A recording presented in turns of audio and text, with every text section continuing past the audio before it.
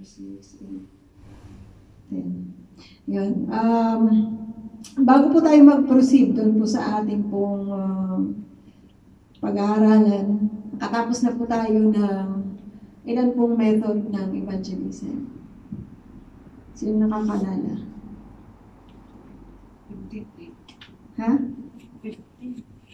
Oo, il- ilan na yung natapos natin? Tatlo. Ayun. So sa gabing, gabing ito, before po tayo mag-proceed, ay meron po tayong activity. No?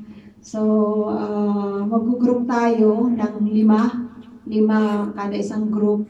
So magbilang po kayo ng 1, 1, 1 and 2, 1 and 2. O, tapos, Five, six, seven. Ano ba, ready na ba? Ay, Mars. Try mo. Tatay. Makikinig din po kami sa Ayos lang yan. Alam mga kapatid, magsitigil nga kayo muna at makinig kayo sa akin. Kung ano lang, mga tatlong minuto lang o ano pa. Ah, Sino ba yung maingay na yan? Magkakahanap ba kami dyan ng, ng ano? makinig ka kasi muna. Huwag ka munang Tamatawag na yung honey ko. Ano ba yan? Ay, naku. Ako Konting minuto na. Oo, Ah, makinig ka, makinig kayo. Ito sa... Ay, inom Oh, lang makinig ka. Sis, makinig ka. Inom lang. Alam niyo po ba na may dalawang ano, caregiver lang sa HIPA? Asan kayo doon? Naligtas na o maliligtas pa lang? Saan kayo doon? Sa mga papa. Hindi. Ang mimilis po kasi. Alam mo ba na hindi nakakapasok sa langit ang pilosopo? O, saan kayo doon? Saan mo ba Saan yan kaya nga, ano? Hindi ba? Kailangan kayong maging open-minded. O, saan kayo doon? Naligtas na o hindi pa naliligtas? Hindi pa kasi kayamanan ko eh. Eh, kaya- Kaya may namamahagi pa ako. Tsaka naniniwala Kaya nga, inihiling ko sa inyo na Nagpaputak pa ako sa mga tao. Iniling ko na makinig muna kayo. Sandali. Siya, sige, tahimik muna tayo. So para kayo ay maligtas, sabi ng Bible sa Roman chapter, basahin ko ha. Sabi sa Roman chapter 3 verse 23, sapagkat ang lahat ay nagkasala at hindi makaabot sa kaluwalhatian ng Diyos. So ibig sabihin, kayong lang, mga caregiver dyan na nagkichismisan o nag-uutukan, walang ginagawa, lahat tayo ay makasalanan. Kahit pa yung balabay ninyo o yung oh, makasalanan kayo kasi nagpapautang ka. Ikaw, nagano ka na masyado kang babad sa Facebook. Ibig sabihin, lahat tayo makasalanan sabi ng Biblia. So anong gagawin natin upang tayo ay maligtas?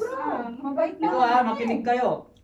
Bakit Sabi dito sa Roman 6.23, makinig ka. Sapagkat ang kamatayan ang kabayaran ng kasalanan, ngunit ang walang bayad na kaloob ng Diyos ay buhay na walang hanggang sa pamamagitan ni Kristo na ating Panginoon. So napaka magandang balita, di ba? Ang bayad daw ng kasalanan natin ay ang kamatayan ni Jesus.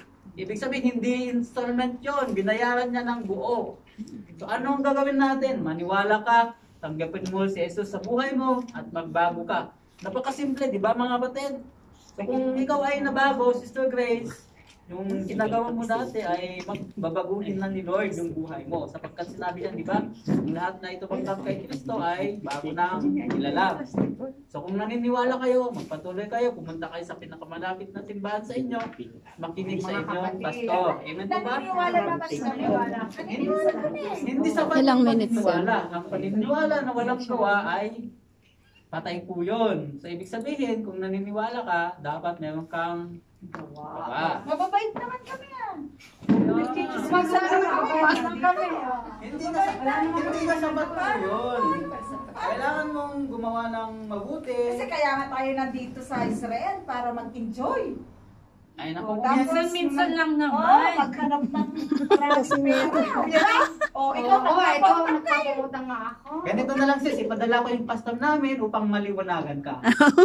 Di ba? Saan ba yung Kukunin mo yung number mo. Ayun pala yung pinali. Yun pala. Ano, paano ka magkaroon? Paano ka magkaroon? Sinabi ko na sa iyo, hindi ka nakikinig. Ano, grabe naman yun. Nagalit naman. Tapos sa church namin, manipulating ka eh. Galit naman. Sundayin ka namin, bago mo sa sapato. Yalabay! Yalabay! Yalabay! Magtitin pa ako! Kasi yan pala kasi.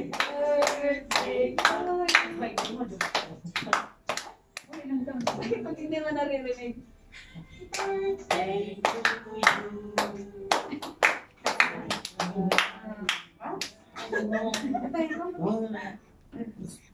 Ano? Nasaan na yung mga inuman? Tao po! Happy birthday! Kakain ka mo na sis, mamaya ka Huwag ka na mo na mag-ay sis. Yung mga inuman Ako. Kakain ka Happy birthday, sis! Ako pala si Demi. Sige siyang may birthday. Hindi siya. Ikaw ba? Happy Salamat po. birthday. Ayaw ka. Happy birthday po. Kumusta, Sister Demi? Okay naman po. Si-share lang po ako sa inyo. amiga. Okay lang po ba? Sige lang po, amiga. Alam mo ba, Ayo? Ano ba? Alam mo ba, Rhea? Okay na? Mr. Mel? Yung inulit ko yung Nakalimutan ko yung pangalan natin. Ay, Mag-share lang po ako. Okay natin. By the grace of the Holy Spirit. Ah, sis, may sinasabi ka? Meron po ako sinasabi. Okay lang po ba? Saglit lang po. Sis, tagay ka muna, sis. Hindi, thank you. Tubig lang. May tubig ka ka. muna. Hindi, okay lang. Baka Alam niyo po ba?